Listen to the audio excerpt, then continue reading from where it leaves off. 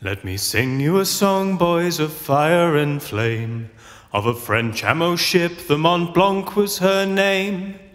How the brave Nova Scotia was never the same on the morning when Halifax burned. 'Twas in early December 1917. She was packed to the gills with grade A TNT. They were bound for the fighting in high Germany when towards them the other ship turned. The Norwegian ship IMO, some fault in her gears. She struck Mont Blanc's side like the mightiest of spears. And the benzol ignited the captain's worst fears as the fire consumed bow to stern. The people gazed on from their safe distant rooms, watched the soot and the smoke fill the sky with their plumes. Though within the ship's cargo would spell all their dooms, how were they to know to be concerned?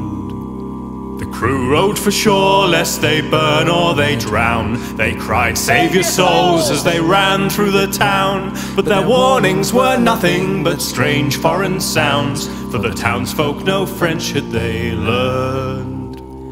One man, Patrick Coleman, in the railway's employ, sent word Stop the trains or they'll all be destroyed. This will be my last message. Farewell to you, boys. For a true hero's death he earned.